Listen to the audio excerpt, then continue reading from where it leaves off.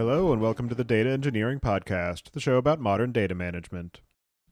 Dagster offers a new approach to building and running data platforms and data pipelines. It is an open source, cloud native orchestrator for the whole development lifecycle, with integrated lineage and observability, a declarative programming model, and best in class testability. Your team can get up and running in minutes thanks to Dagster Cloud, an enterprise class hosted solution that offers serverless and hybrid deployments, enhanced security, and on demand ephemeral test deployments. Go to dataengineeringpodcast.com slash Dagster today to get started, and your first 30 days are free. Data lakes are notoriously complex. For data engineers who battle to build and scale high quality data workflows on the data lake, Starburst powers petabyte scale SQL analytics fast, at a fraction of the cost of traditional methods, so that you can meet all of your data needs, ranging from AI to data applications to complete analytics. Trusted by teams of all sizes, including Comcast and DoorDash, Starburst is a data lake analytics platform that delivers the adaptability and flexibility a lakehouse ecosystem promises. And Starburst does all of this on an open architecture, with first class support for Apache Iceberg, Delta Lake, and Hudi, so you always maintain ownership of your data. Want to see Starburst in action? Go to dataengineeringpodcast.com slash starburst and get $500 in credits to try Starburst Galaxy today, the easiest and fastest way to get started using Trino. Your host is Tobias Macey, and today I'm interviewing Yingjun Wu about the Rising Wave database and the intricacies of building a stream processing engine on S3. So, Yingjun, can you start by introducing yourself? Hello, everyone. Thanks for having me here. And I'm Yingjun Wu, and I'm the founder and CEO of Rising Wave Labs. We're building a distributed SQL streaming database yeah, as you just mentioned, where the database is built on top of S3, so it's kind of uh, like novel cloud native, right? And uh, before I've been running this data for three years, and before that I was at uh, AWS Redshift, the data warehouse team. And prior to that, I was at IBM Research Almaden, the place where the database was invented. I also obtained my PhD from National University of Singapore and I was majoring database systems and uh, and stream processing. So essentially, I have been working on stream processing and databases for over 10 years, uh, 15 years. So yeah, it's great. And do you remember how you first got started working in data and what it is about the space that's been keeping you interested? Well, look, well, I just mentioned that I actually uh, did my PhD in databases systems and stream processing. So it it was actually kind of natural for me to continue my PhD work, right? Well, when, uh, and I joined the industry and I worked for IBM and then AWS. So, but well, initially, when I was just started my PhD, I actually uh, trying to explore some other spaces like machine learning, like, I mean, statistics, like, yeah, computer visions and many others. Well, I just feel that I'm not probably, I'm more interested in building things instead of like doing algorithms because right at that time there was no LLM, right? But there was no such kind of thing called well the TensorFlow.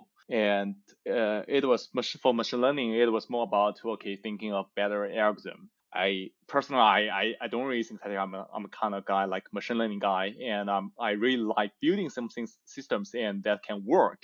So yeah, that's why I I choose to focus on databases and stream processing during my PhD and after that, well, I, as I just mentioned, I just continue my, continue my journey. I feel that I cannot just, uh, I mean, uh, purely doing research. I really want to apply what I learned into the industry and to build something that everyone can use. Yeah, that's my story.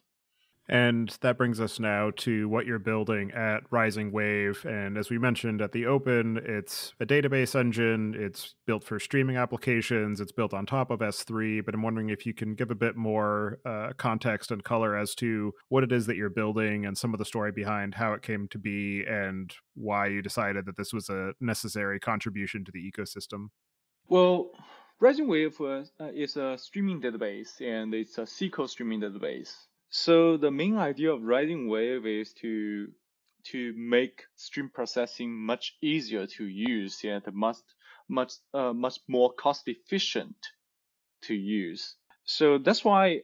So in terms of the ease of use, we think that the I mean conventional stream processing systems were about okay, you have to write Java, you probably have to understand a lot of technical details like checkpoint, like some other things. But what I feel is that okay, luck probably people can just use like um, you uh, to use stream processing with a familiar experience like Postgres experience. And in terms of the cost efficiency, I think, well, I mean, nowadays, well, because of all kinds of reasons like cut, uh, cutting costs, right? People care a lot about, well, okay, the cost efficiency. And I feel that, okay, especially in stream processing, many people say that, okay, they probably do not really want to have stream processing systems because of the cost. And I feel that, okay, look, in the, in the cloud, we can actually leverage the so-called cloud native architecture to reduce the cost. And that's why we build the RisingWave. And that's why we actually adopt the so-called decoupled can compute and the storage architecture to uh, to to power the stream processing engine. So yeah, that's the that's the story of RisingWave. But before RisingWave, well, why I built a RisingWave, it's um it was mainly well as I just mentioned. Well, before that I was at AWS Redshift. Redshift is a data warehouse, and uh, many people know that they probably really want to use Redshift for, say, batch processing, right? Or, uh, or probably store a lot, a lot amount of uh, log data. But when I was in AWS, I feel that okay, actually more and more people are interested in regional data they just probably just want to build some dashboard on top of the uh, using the regional data or probably to gain some real-time insights from the regional data. And Redshift was not a system for that kind of like stream processing for for for for streaming data. So that's why I feel that yeah, we probably need to build something new and build something new from scratch, and that's RisingWave. And as you mentioned, stream processing has been around for a while. Largely, that has been the domain of very programmatic and code heavy engines, uh, in particular, things like Spark and Flink come to mind. There have also been a lot of entries into the market for near real time database engines. Things like ClickHouse, Druid come to mind for that. Streaming SQL systems have been around for a while. I think one of the most notable ones right now is Materialize and I'm wondering if you can talk to the specific niche that Rising Wave addresses that is either a subset or superset, or wh- where in the Venn diagram of all of those problems Rising Wave is a uh, particularly well suited option.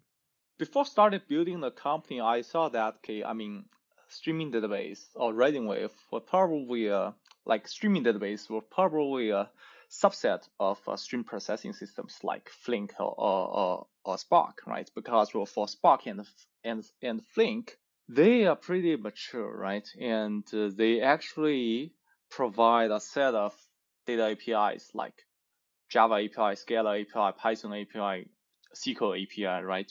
And people can probably do anything on top of these systems, right? But over the last three years, I feel that essentially a streaming database is not a subset of the stream processing system. It's actually a superset.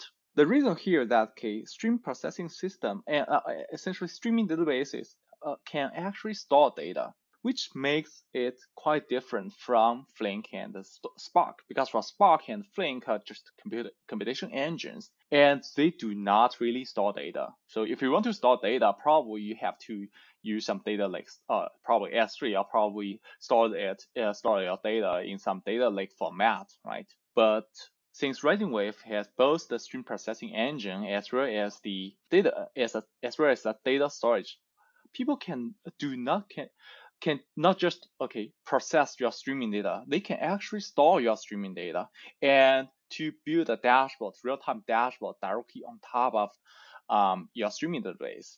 So that's much more powerful than just a computation engine. Because well, as long as you uh, use a computation engine, you probably have to find your bring out your own storage, right? You have to have your own storage. So that actually limits the usage of the storage computation engine. But I do fear that key. I mean, RisingWave is not trying to cover all the cases, um, all the all probably all the functionalities provided by Spark and Flink, because well, as I just mentioned, well, Spark and Flink can provide Java API, Scala API, Python API, but RisingWave doesn't really provide that. Well, it only provides SQL. And uh, but well, people use UDF Python UDF and uh, um, and probably Java UDF, Scala UDF, just like uh, how you use Snowflake and Redshift. And you also mentioned ClickHouse and Druid.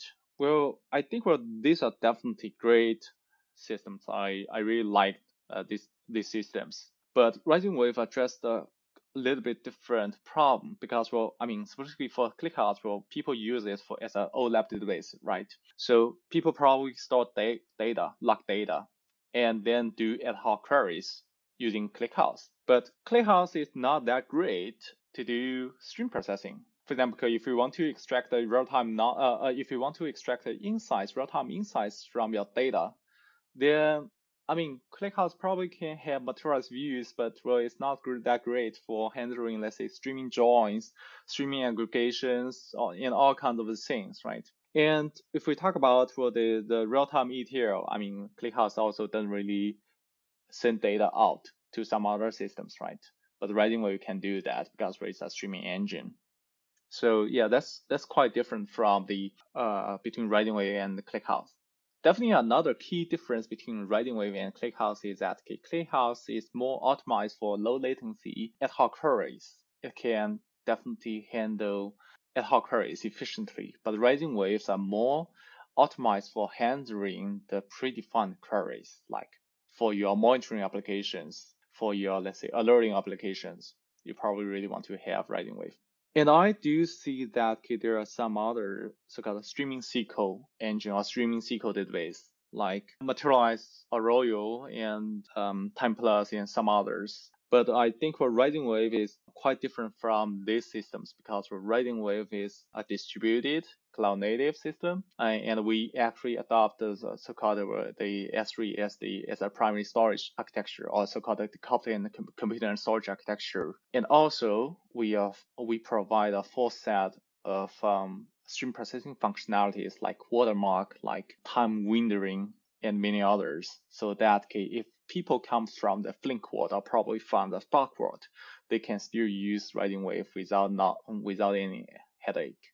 And the point of S3 being the primary storage layer and being able to decouple compute and storage, that has been one of the selling points for a number of other database engines that have been focused on largely data warehouse uh, use cases. I'm thinking in particular of things like Snowflake, but also distributed query engines such as Trino and Presto. But most of those, those also aren't thought of in the same context as streaming applications. There's usually two separate environments where your streaming engines are doing your real time computation. But then if you want to do longitudinal analysis and aggregate analysis over larger volumes of data, then you go to your warehouse engine that has this decoupled storage and compute layer. And I'm curious, what are some of the architectural principles in RisingWave that allow it to do that separation of compute and storage at the same time as the real time stream processing um, and some of the ways to think about RisingWave in that other context of these maybe lakehouse or data warehouse ecosystem. Uh, okay, so I think well, these are two different questions. The first one is about well, the architecture, like the so-called decoupled computing storage. And second thing here that okay, how RisingWave is, well, I mean, can fit into let's say data data lake or lakehouse or ecosystem right? So for the first question, I think the key thing here that key for stream processing, the key challenge here that key we actually need to stream processing is continuous query processing. So it means that key we actually need to continuously maintain internal states or intermediate results for the stream processing because well, it's incremental computation and you have to guarantee that your internal states or intermediate results never failed or never get lost because if, if the intermediate results get lost, you have to recompute from scratch, right? Which can be super expensive. So Rising Wave adopts the, and most of the existing stream processing systems like Flink, they actually adopt so-called coupled compute and storage architecture. Basically, they maintain their internal states in their local machines. The problem, the pros, um, the advantage of this architecture is that I mean that these kind of systems can be super fast. But the problem here that when comes into let's say failure recovery and elastic scaling, this kind of systems probably will have a hard time. The reason here that I mean, if the internal states get lost, they actually need to create another machine and ask that machine to load the entire state from your last checkpoint and then get recovered, which can be super slow. And uh, I we, we come from some some customers migrating from Flink to to Rising Wave, and they complain that I mean before uh, I mean before using Rising Wave, when using Flink, they actually it will take probably 40 minutes or probably an hour to reload their internal states back from just that checkpoint to their uh, to their local machine. I mean, this kind of use cases, well, I mean, 40 minutes or one hour is too long for some online applications. But Rising Wave actually stores the internal states in the remote machine, basically the uh, or the object store, right? S3. So essentially, you can get instant failure recovery because I mean, if the machine failed, then it failed, right? Not a big problem because right, it, what it stored is only cache. So we can just reload, or we can just reboot the machine and ask that machine to directly access data from the remote storage object store. So, and that about failure recovery. And similarly for, for elastic scaling, also we can achieve a dynamic, dynamic second level that, uh, elastic scaling, which is super powerful for the streaming workload because, well, I mean, in, in the streaming workload, streaming workload can fluctuate. Probably uh, in the morning we probably have a heavy uh, heavier traffic, but at midnight probably we don't really need so many machines, right? And that's why we use so-called decoupled computer storage architecture. And definitely decoupled computer storage architecture is also also much cheaper than just storing your data in your local machine, right? Because S3 is much cheaper than your EC2. And if you talk about what the lakehouse thing, I think Rising Wave um, can definitely fit into the lakehouse thing, uh, the lakehouse architecture the thing here that I mean, people actually nowadays would care more more uh, more about the real time data, and they really want to ingest the data in real time into their lakehouse. For example, if they have their Kafka data, conventionally what people did is that they probably will buffer their uh, real-time data in Kafka for let's say seven days before delivering it, uh, before syncing it into data lake. Iceberg or some others uh, or some other data formats or data for, uh, frameworks. But nowadays, people probably don't really want to do that because they really want to do analytics over their both their real-time data and historic data. So they actually want to continuously sync data from their let's say Kafka to their lakehouse. So Rising Wave can be the bridge, can be the tool that can help you continually sync data from your I mean, the messaging queues are all upstream systems to downstream systems. And actually, another interesting thing I would have probably want to mention is that okay, Rising Wave itself can be the lakehouse. The reason here that okay, we actually again Rising Wave stores data, its own data in S3. So in the future, we probably will consider using Iceberg format to store our, our, our data in S3. So which means that okay, people can just use Presto or some uh, some other uh, or Trino, right, and some or some uh, other execution engines to directly query data in Rising stored in Rising Wave. So Rising Wave will be the data lake on its own, and we'll have an open ecosystem if we store data in the Iceberg format. That was going to be one of my other questions: is what is the storage format or what are some of the ways that you think about the storage layer in rising wave and how that how that relates to the streaming and incremental capabilities that you've built into the engine? Well right now rising wave has its own storage. The reason here that and which is a row store is not a column store. The reason here that okay, for stream processing, well, in many cases, we probably really want to do, let's say, joins, aggregations, and row store is much more efficient for handling, let's say, streaming joins and, and the streaming aggregations. And so that's why we use RowStore. But gradually we find that yes, more and more people use Rising Wave to store, let's say, historical data, because well, I mean, as the streaming data comes in, right, and after uh, as the time evolves, this real-time data will become the historical data. So more and more people leverage Rising waves to store, I mean, their their their their older data or their historic data. So actually, we have the requirement. Customers have the requirement to do more complicated analytics over their historic data using Rising Wave. So that's why we are thinking of introducing the column store. And we are thinking of, but we do not really want to build our own column. Why? Because, well, I mean, build, I am not a fan of always building something from scratch, right? I'm always, and nowadays, well, there are so many cool products, right? Cool data formats and, uh, and a cool open source software. So I'm thinking of leveraging something that is open, which can be Iceberg. And we are probably, there are some other, definitely there are some other data formats like, uh, like Hudi, like Delta Lake. But right now we are currently working with the Iceberg community on storing data in Iceberg format. And if we if we have done that, then definitely, I mean, people can just store historical data in Rising Wave and do efficient query processing using their own system, or let's say Trino or Presto, or probably just using Rising Wave because Rising Wave also has its own batch engine. And we also definitely gather the Iceberg ecosystem for free. That's the that's our goal.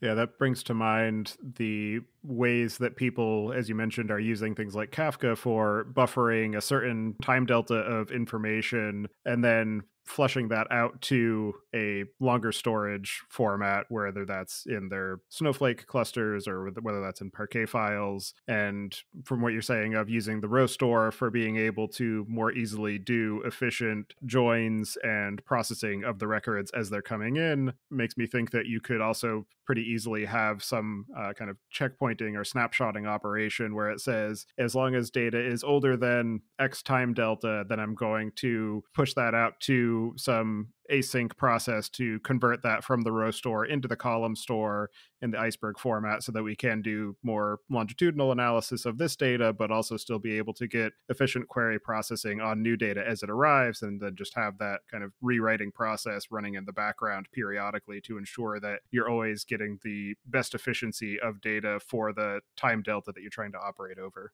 Yes, definitely. Yeah, definitely. We are thinking of like, I mean, we are thinking of periodically compact data from row store to column store and probably compact it to Iceberg format or probably some other data formats. That's for sure. And uh, that's essentially everyone is doing that, right? Even for Kafka, like Kafka or probably Redpanda or Pulsar, they also doing the same thing. They also want to compact their uh, their historical data into Iceberg format or probably some other open data format, open data lake format digging more into Rising Wave and some of the use cases and ecosystem that you're looking to enable, what are some of the other unique capabilities that the Rising Wave engine provides, given the fact that it is natively using S3 as the storage layer, so you don't have that long time horizon of having to bring that checkpointed data into a separate storage system to then do computation, then push it back, and constantly having to do this back and forth. And so, some of the ways that the engine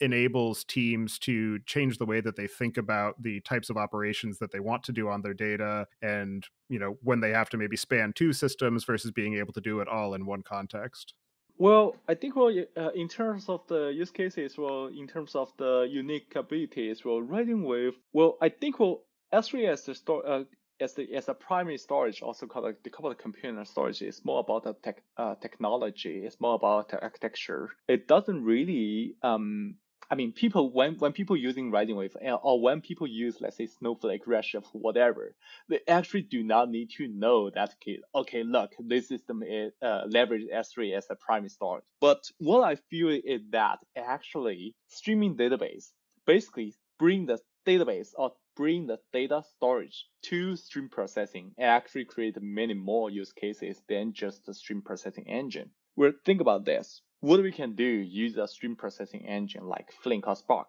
Okay, we can do probably real-time ETL, right? Everyone knows that, okay, probably if I want to do, um, let's say batch ETL, I probably can use Spark that's the default option, right? So Spark is definitely a default option.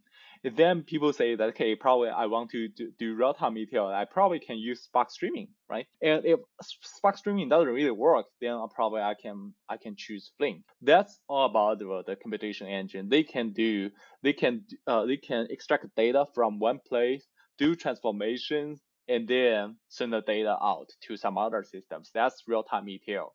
Rising Wave is a stream processing well, as a stream processing system can definitely do real-time ETL. But the thing here that okay, I mean, it's not an entire story. What I feel is that okay, Rising Wave can do much more than that. So I I think what we are focusing, uh, in, except for real-time ETL, we are focusing on two use cases. The first one is real-time analytics over Kafka data. So the thing here that okay, when uh, conventionally what people do is that okay, I mean if they have Kafka data and then they have some other uh, and then they want to do analytics over Kafka data, right? What they can do, they probably need to bring in, uh, let's say, a stream processing engine, Spark Streaming, or probably Flink, do analytics, and then and then uh, send the data into a database, let's say Cassandra, let's say let's say Redis, like Postgres, like or even Oracle, right? So They can do this. Um, but the thing here that I mean, database, the Cassandra or probably Redis or probably Postgres is a different system than Flink, right? Where these are two different systems. If they really care about the freshness, if they really care about the consistency, they have to determine, okay, how I can integrate these two different systems, right? What if one system failed, but the other one doesn't really fail? And what if, let's say, there are some network issues between these two different systems, right? So what Rising Wave with a storage, with a, as a database, with a data storage does in this scenario is that it can replace the entire data stack. Well, it does. You don't really need a Flink plus a database. You don't need a Spark plus, a, let's say, a Postgres. It's too complicated.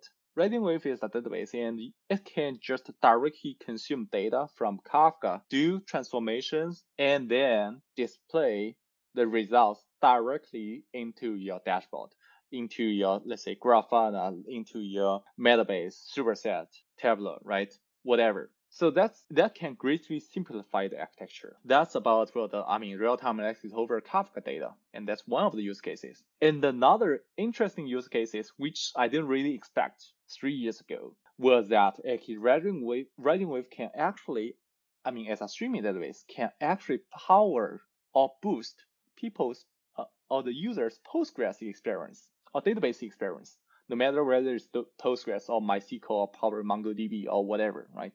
the thing here that okay, look, let's just uh, take Postgres example. Okay, I take Postgres example because I'm a fan of Postgres, and uh, definitely MySQL is also great, right? And also Rising Wave also speaks in Postgres language. I mean, it's Postgres compatible, so we actually have better compatibility with Postgres. But anyways, well, I mean, if if people have Postgres, they actually they probably have some they will probably uh, have some performance issues because well probably they want to do materialized views inside of Postgres, right? Or probably they want to do some analytics over po- uh, inside of Postgres, right? For these systems, uh, what so Postgres is kind of slow in handling continuous incremental uh, uh, incremental materialized view maintenance. Everyone knows that.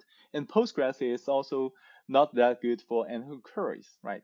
So what we did is that what we found is that essentially people can use Rising Wave as a Postgres booster, which means that Rising Wave can continuously process, consume data from Postgres bin log, also called a CDC, can consume data, continuously consume data from Postgres bin log, do real-time computation, I mean the materialized view, build materialized views and optionally send data back to Postgres so that people can just query the real-time results inside of Postgres. So that's pretty interesting use cases.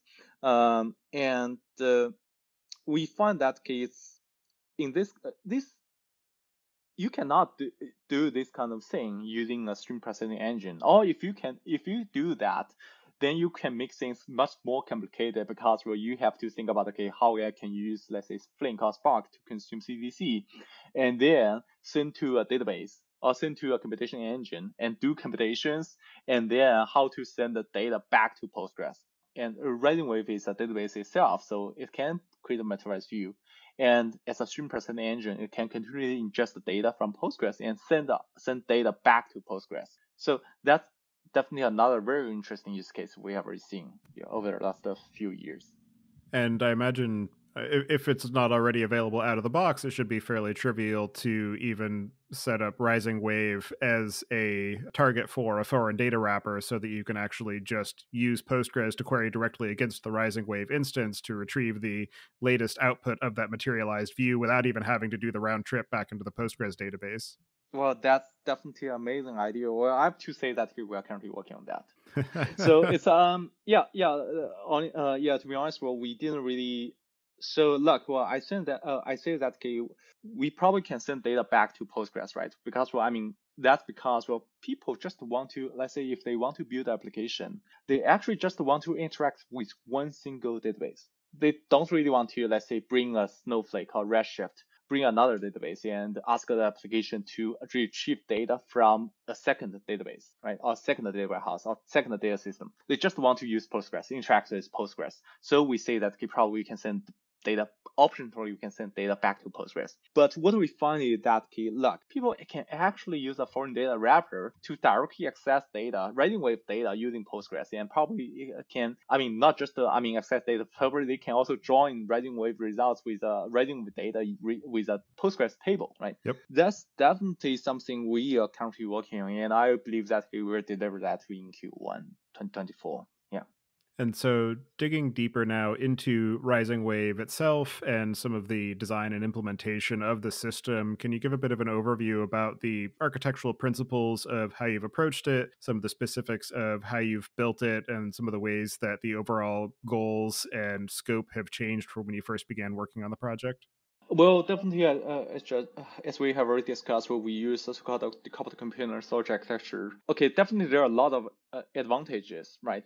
But I can tell you something about the limitations. One of the limitation is the uh, is that okay, S3 is super slow. So that okay, I mean people have the impression that okay, if so yeah, people just have the impression that for S3 is super slow. But so that we cannot allow people to frequently access data in S3, right? So what we did is that we actually bring a caching layer which is tu- which is a tunable caching layer because well, I mean you can set the as a user I mean, as an advanced user, you you can definitely set the I mean the cache size. So definitely that's the limitation, and we address the limitation using caching system. But actually, an interesting uh, thing here that okay, when we say that okay, we store data in S3, then people will feel that okay, look, your system should never run into so-called OOM problem, right? Out of memory problem, because they think that okay, no, you store data in S3, so you should never come from auto memory problem. But the, the fact is that can not the case because well, I mean we still need to use our memory to do computation.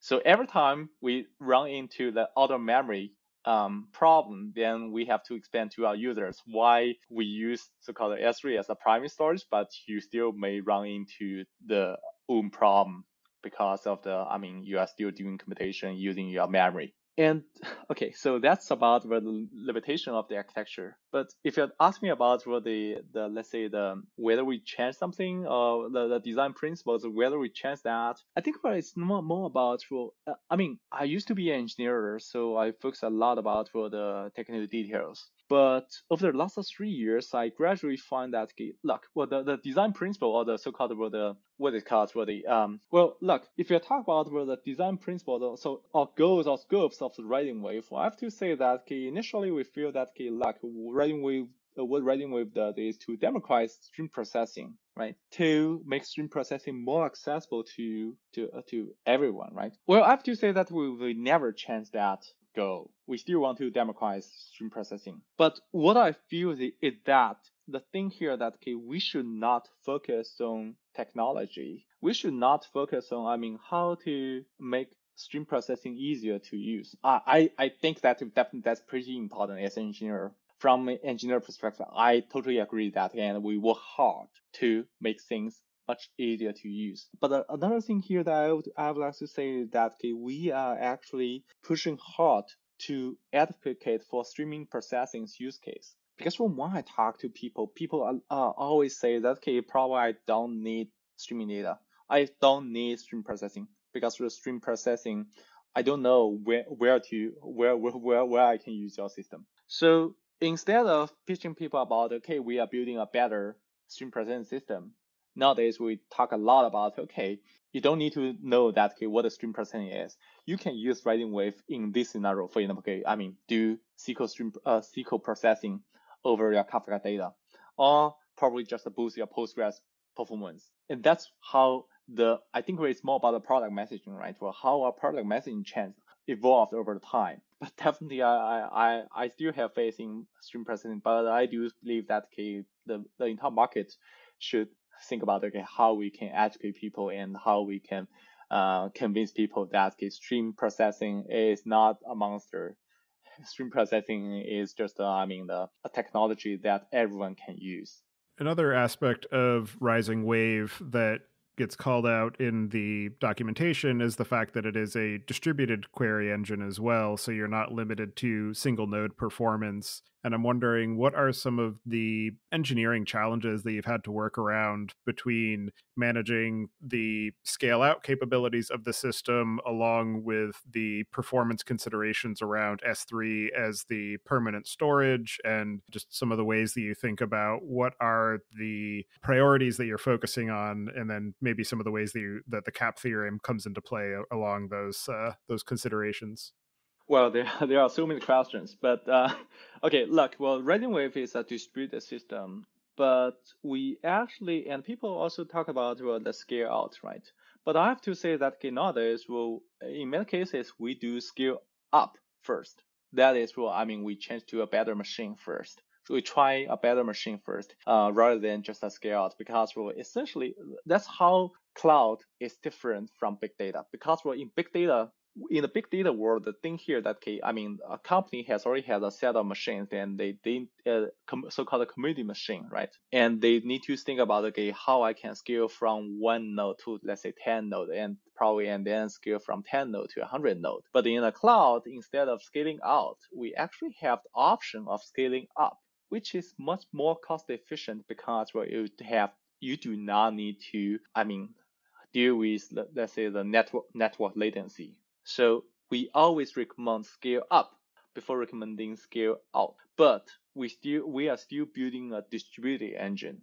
The reason here that okay, in most cases, well, the most challenging cases are that okay, when when handling the big state stream processing, let's say joins, aggregations, you will soon run out of memory. So you have to distribute from one machine to several other machines. And and also another thing here that okay, scale, scaling up has also has another limitation, which is that okay, if you want to, let's say, do dynamic scaling based on your streaming workload fluctuation, you actually have to you actually have to probably stop this machine and uh, and migrate the entire states from one machine to another, right? So if we have um, if we do scale out, then it can make things much easier because we can just migrate part of the slates to the newly boosted machine, right? But okay, so let's talk about the stream uh, distributed stream processing. I think the key challenge is not about how we can interact with S3, but how we can handle the data scrutiny. Because well, I mean, stream processing is about more about the real-time data and the real-time data can definitely screw, right? If you use, let's say, a batch processing system, let's say Snowflake or, Click, or, or ClickHouse or Redshift, they can just rebalance, right? Rebalance in batches. But in stream processing, the thing here that okay, you have no idea about how the data skewness look like. You have to adjust the skewness, or you have to adjust the data distribution at runtime. So that's much more challenging then yeah, uh, the, just rebalancing of batch uh, your batch data. So so we actually made a lot of efforts um, in rebalancing streaming data. And yeah, it's more about well, how we ha- handle uh, the shuffling or some other things. Sorry, what's the what's the second question?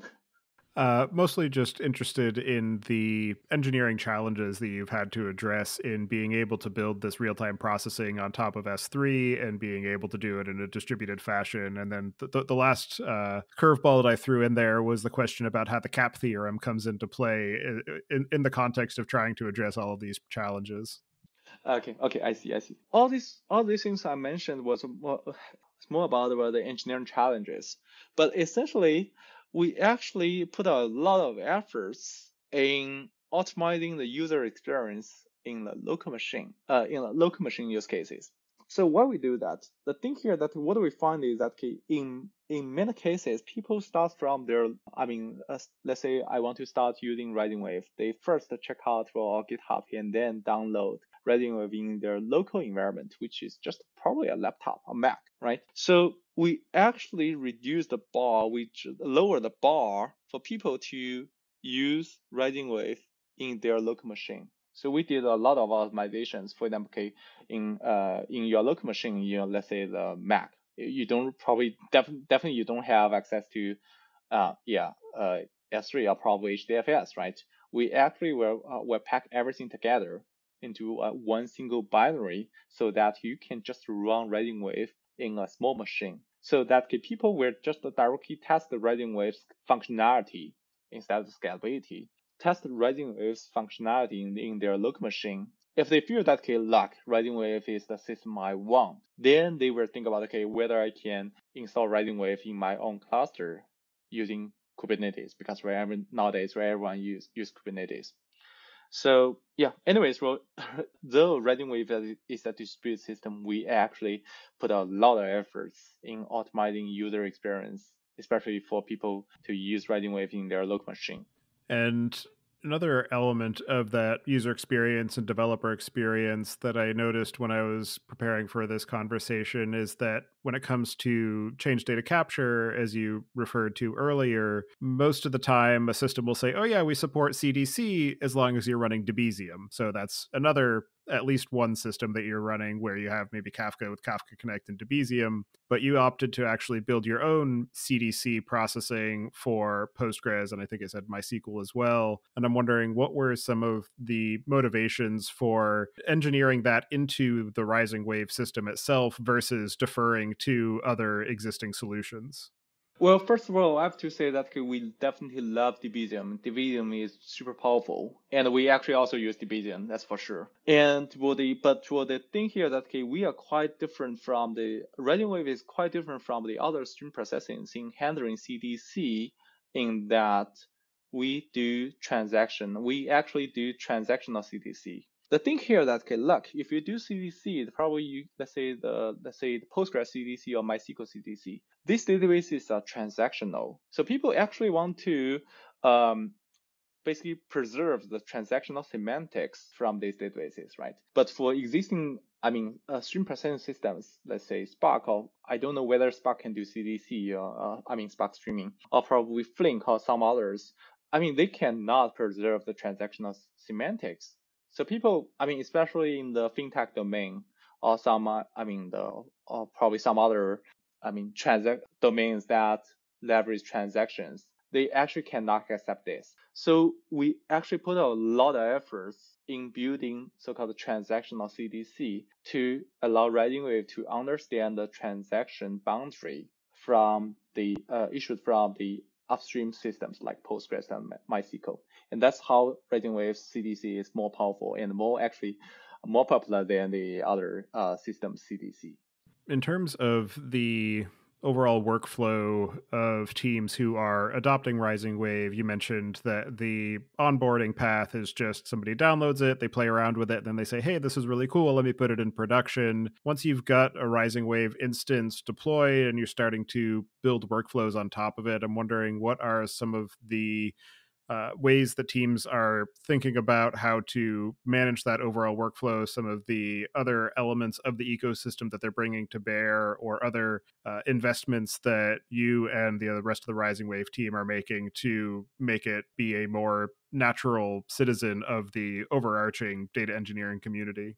Well, I think what it's more about the ecosystem. I think for two things. Well, one is uh, ease of use, and second one is ecosystem. Ease of use, I just mentioned. I mean, we have to we have to tell people why RisingWave fast. I mean, we people will not use your system invest uh, let's say invest let's say a week or probably a month into your into uh, yeah your system. They probably will just uh, check out your GitHub page for five minutes or probably 10 minutes if they're interested, they will probably dive deeper into it, probably download. And they probably don't even need to, uh, they probably don't really want to download in, I mean, using their Kubernetes, right? Deploy your system in Kubernetes. They just probably really, really want to play around uh, on their laptop. If they feel that, I mean, it's not a suitable use case, uh, it's not a suitable system for them, then they will stop using that. I mean, they probably they will just delete right away from their laptop, right? So we make things much easier to use in their own laptop. And about the ecosystem, I mean, if people so if people want to bring a system into their data stack, they actually care a lot about okay whether the new system they want to bring in can integrate with their existing data stack. For, that's why we actually build a bunch of let's say integrations with both upstream systems and downstream systems. I mean, people can, uh, people, some people say that, okay, no, we probably don't need this because we can bring, let's say, we, we, can, we can probably use Kafka Connect, right? But the thing here, like what we find is that, okay, look, people don't really want to bring an additional system to use your system. They just want to use one single system to address all their problems. That's how people think, right? Well, people don't really want to bring troubles, right? People don't really want to bring complexity. They just want to use one single system that is out of box and then can fit into a desk stack and then can run. That's the thing. So we actually build a bunch of connectors and direct connectors without Kafka Connect, without any additional systems help.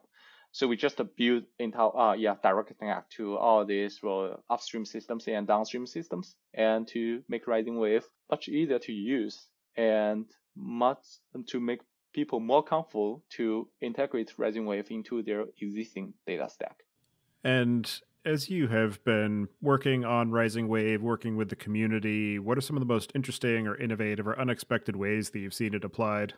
Well, if you talk about for the innovative, uh, I mean, well, I can give one example, which is like uh, I, I think it's more about an unexpected way to using Rising Wave. So in the Rising Wave community, we do see a lot of let's say trading firms, banks, like uh, or probably SaaS companies, tech companies. Definitely, they know what stream processing is. They know okay what is uh, I mean they need real time data and they have real time data and they need real time data processing. But what we found is that okay, actually Rising Wave is kind of popular in in the manufacturing industry. I can give you one example, which is like to me, well, it's kind of surprise.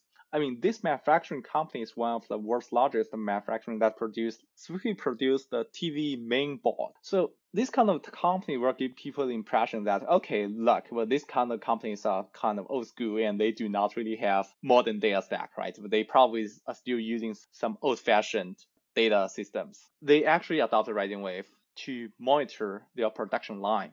Before writing, uh, before introducing Rising Wave, they have their own factories. Uh, this is a big company, enterprise company, and they have multiple factories across the world. And before introducing Rising Wave, they actually uh, they need to monitor the production line across the world before introducing Rising Wave, they actually have to make phone calls to the on-call, per, uh, on, uh, on-duty personnel and ask them, okay, is everything good? Is anything that I can help with? Or probably is there anything wrong? Or probably if we want to handle some emergency issues, every six hours, they make such a phone call. But now, things changed. This factory, uh, I mean, this company just introduced, let's say, the Rising Wave into their data stack. Well, I mean, they can just sit into the, their, their, their office. And then they also install the so-called the sensors in their production line so that essentially the sensors can send data, send their so-called IoT data, right? IoT data into their, let's say the a database installed in their the factory. And the factory will continuously send data back to their office to back to their Rising Wave instance. And the Rising Wave will directly display the dashboard to their yeah, IT person. So that they will know, okay, what happened in my factories across the world and uh, whether there's any emergency issues I, I need to deal with and whether there's any, let's say, uh, the flaws or whether there's any anomalies I need to deal with, right? That's how, yeah, this kind of use cases really impressed me because, well, it gave me an impression that, uh, yeah, I used to think that, I mean, these kind of factories, old school, they do not really, they are not interested in new technology. But this kind of use case really, yeah, refresh, refresh my mind. And I do really think that okay, more and more factories and more and more companies will introduce new technology to help them to improve the efficiency as well as saving cost. And in your own experience of working on the Rising Wave engine, contributing to this environment and ecosystem, and building a business on top of an open source product, what are some of the most interesting or unexpected or challenging lessons that you've learned in the process? The, all the biggest lessons I learned was not with that do not just focus on technology. Especially the first two years, I, I believe that's where I spent a lot of efforts in thinking about okay what stream processing is and how we can build a better stream processing system. Definitely, that's pretty important. I used to be an engineer and I really love that. I really love hacking code and I really love learning new technologies. I really love, I mean, learning how, how to reduce the S3 latency. These are cool questions. But the thing here that I, I feel that okay, better understand users, not users that use your product, but users that do not use your product. So we need to think about the user journey. I mean, look, when not the user journey of using your product, but user journey of building a data tech stack, right? So let's say, okay, I mean, if I want to create, a, if someone build a new company, the first system uh, they introduce will be Postgres or probably OLTP database.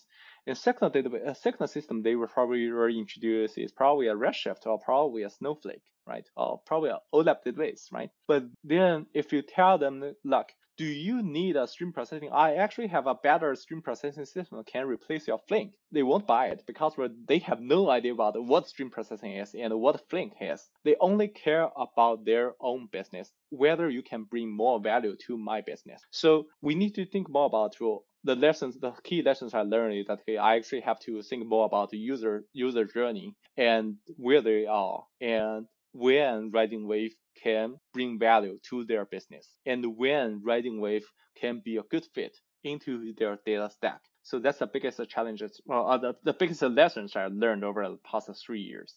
And for people who are interested in trying to gain a more up to date view of the data that they have, what are the cases where Rising Wave is the wrong choice?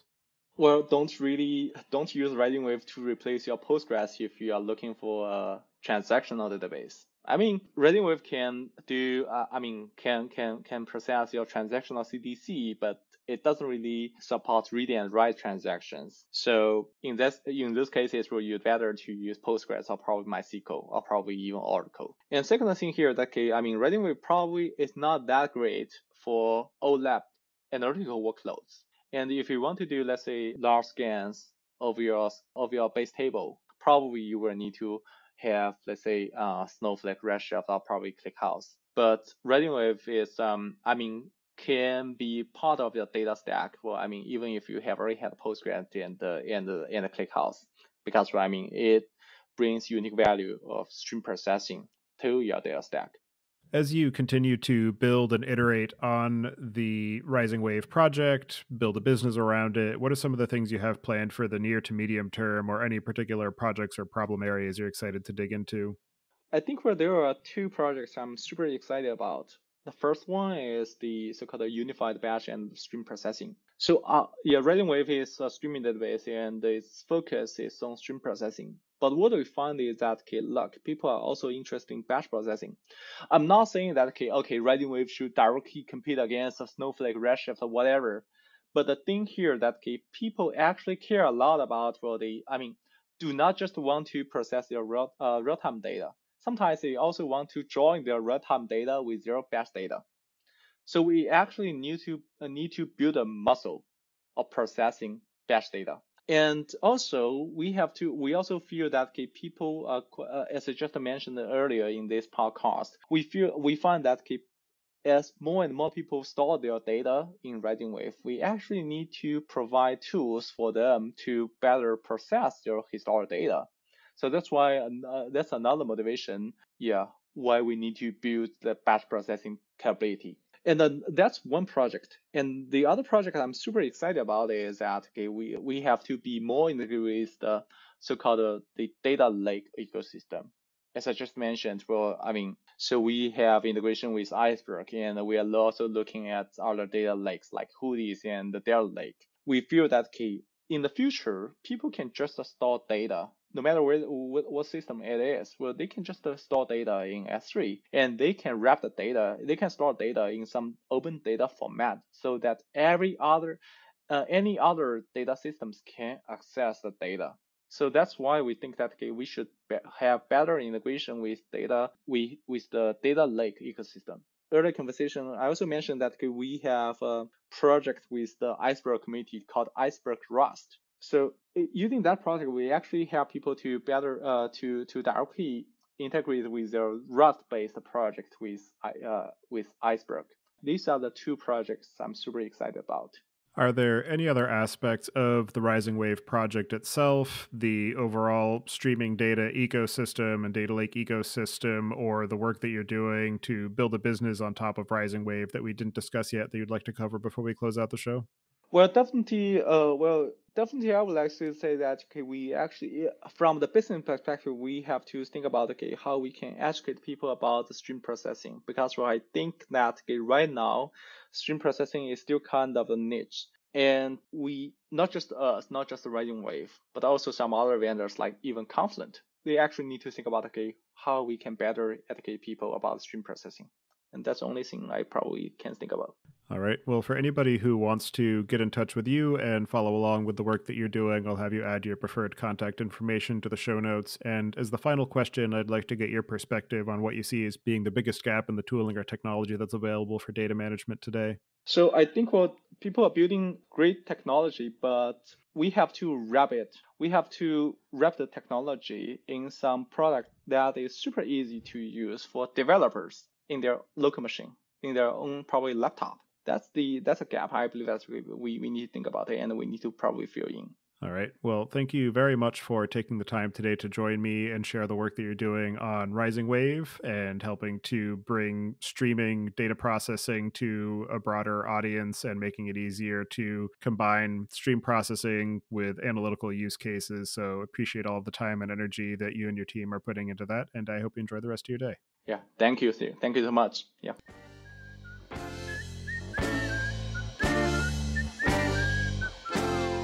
Thank you for listening. Don't forget to check out our other shows Podcast.init, which covers the Python language, its community, and the innovative ways it is being used, and the Machine Learning Podcast, which helps you go from idea to production with machine learning. Visit the site at dataengineeringpodcast.com to subscribe to the show, sign up for the mailing list, and read the show notes. And if you've learned something or tried out a project from the show, then tell us about it. Email hosts at dataengineeringpodcast.com with your story. And to help other people find the show, please leave a review on Apple Podcasts and tell your friends and coworkers.